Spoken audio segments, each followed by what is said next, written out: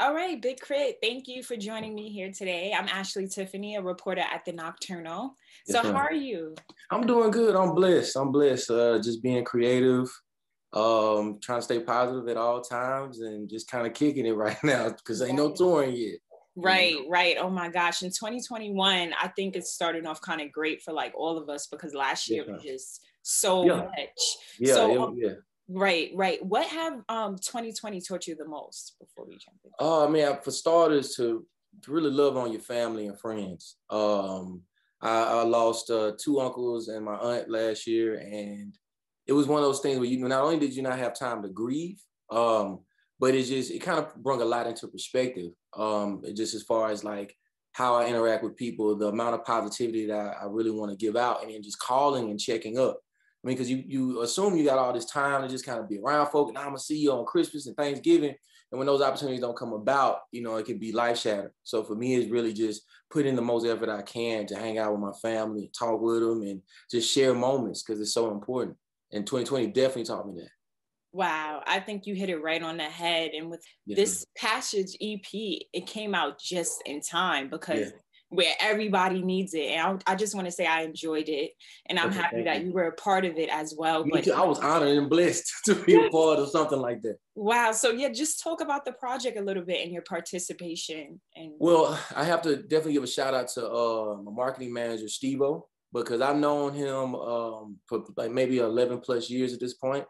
And uh, he was the person that reached out to me to be a part of it. And he's known and my voice, heard my music over and over again. And I haven't particularly done voiceovers before, but he felt that my voice people were aware of. And the fact that I'm Southern and I'm country and I don't hide from it.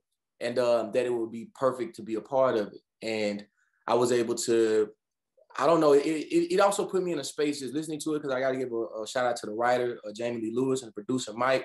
But being able to do that, knowing that there was no particular pressure to worry about sales or worry about or with this radio or streaming, and just to do something that's for, for humans, um, just for everyday people, doesn't matter what you got going on in your life. I think these are the kind of the kind of things we need to listen to more than ever to become grounded, to kind of be silent, to be amongst like in a safe space and really really kind of reflect on what all we went through last year and kind of un- undo all that trauma that we've been going through.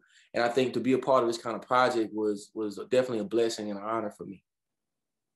And what do you hope? I think you kind of answered it already, but what do you hope people get out of this, listeners? Uh, just just to sit and be still for starters, right? Um, and not because you have to, because what we were going through with the pandemic, but to really kind of get in touch with yourself, right? Kind of sit and listen um, and, and and try to not only reflect but to kind of let go of certain things right? Therapy is something i, I talk about uh, a lot because I, I started maybe six years ago and it changed my life. And a lot of that was breathing in the beginning like learning how to just sit be quiet and breathe. Um, and with that i was able to learn when i start to disassociate or when i'm having a panic attack and work through those things without um, it being a position where I don't really know how to control my thoughts or I'm having a moment, but really like, all right, let me just what bother me, what triggered me, and how to kind of breathe through it. And learning how to meditate every morning and and and kind of dealing with whatever you dealt with the, the day before can help push you along normally in a positive perspective the in this new day. Um, and so for me, it's just about people knowing that they can work through their traumas and be honest and uh, be transparent um, with themselves and just sit down and listen to how you feel, you know. Right. So during the creation of your participation on this project, mm-hmm. did you have to like meditate before creating the voiceovers? Like, how was it? Uh, so I, I, I began to work on a project. I think it was around like maybe eleven o'clock at night. Um, and it was for me that's roughly late because I spoke to most of the people I normally speak to, and it was kind of quiet. So there wasn't like a lot of my phone going off or you know, just turning off everything and listening to the rough that they had sent me. And that put me in a space of calmness. Mm-hmm. And by that alone, I was like, okay, well, I have to make sure when I am doing this that I can't be frustrated or angry. Um, and just listening to what they'd already done. And it kind of opened me up to be in the same space and to truly take my time with doing it as well and not rushing.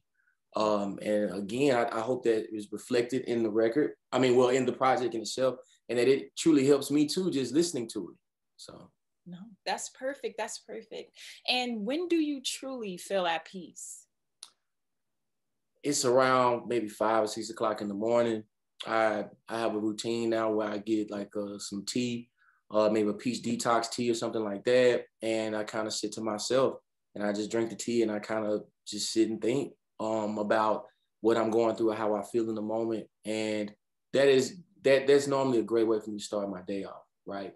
Um, but normally early in the morning when ain't nobody calling, most people still sleep, you know, I can just be to myself and not really worry about what's going on on social media or on politics, but just truly just what am I and how I feel in the moment is the most important thing at that time.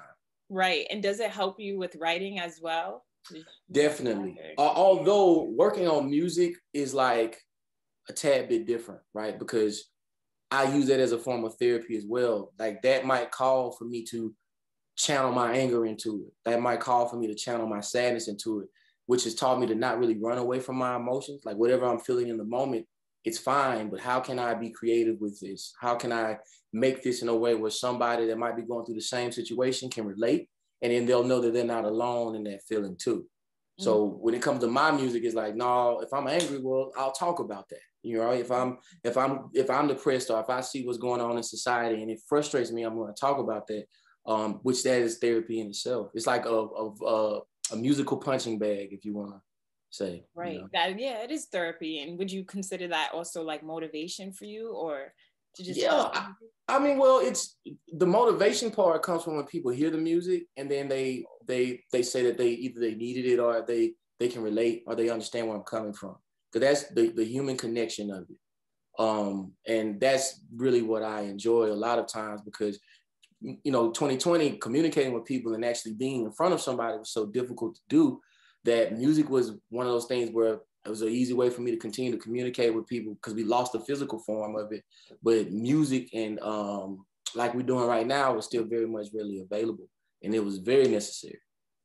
Perfect. So, any last words about OK Players, the Passage EP?